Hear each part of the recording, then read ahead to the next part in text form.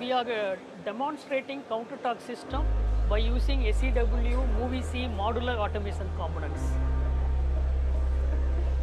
Uh, uh, what is counter torque system? Uh, uh, the main purpose of counter counter torque system is to eliminate the gear system backlash. It is impossible to maintain a zero backlash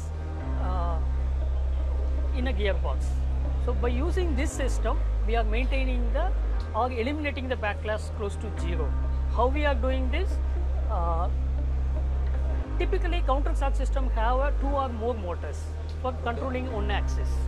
Here uh, we have two motors and each motors are individually controlled by SEW MOVIDRIVE system and we also have a controller called UHX65A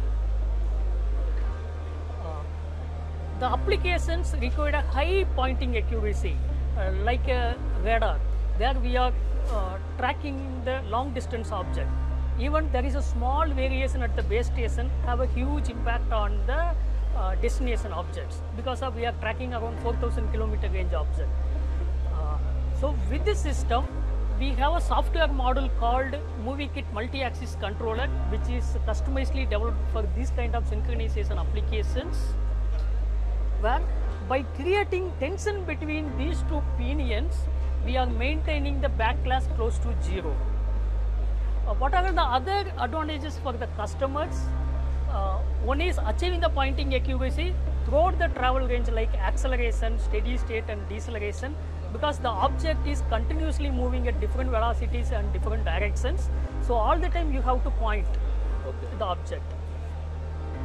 Uh, in other, in addition to that, we also use these applications for the automobile applications like uh, horizontal travel drive, vertical travel drive, or uh, large diameter indexing table. There you require a high point uh, point of positioning accuracy, and also uh, it will eliminate the noise between the pinion and the slewing bearings. The contacts between the gear teeth are eliminated with the counter torque system.